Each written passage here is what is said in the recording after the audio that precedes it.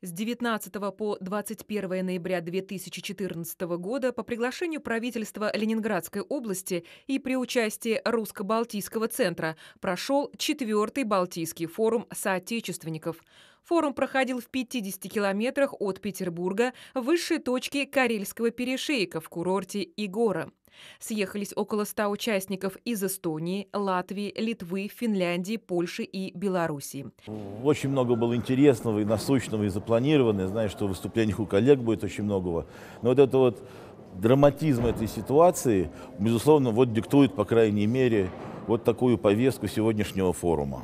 В четвертый раз гостеприимная Ленинградская область пригласила на Балтийский форум соотечественников, журналистов, правозащитников и политиков. Основные доклады были посвящены проблемам, связанным с Украиной. Этот форум э, проходит в переломное время. Не случайно президент России и э, министр иностранных дел говорит, что началась новая эпоха. Вот то, что происходит на Украине – мы видим, что война цивилизаций – это не миф, а это реальность. И на Украине идет не война между э, Россией и Украиной, как это пытаются э, представить CNN и другие средства массовой информации на Западе. Мы видим, что на Украине идет реальная схватка западной цивилизации против русского мира. На форуме присутствовал представитель крымских татар.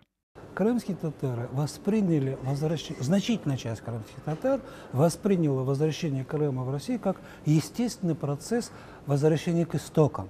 Да, была часть, которая за 23 года была, так сказать, одурманена той пропагандой прозападной, проукраинской пропагандой, которую проводили тогдашние лидеры Межлиса. Эта часть, конечно, не восприняла.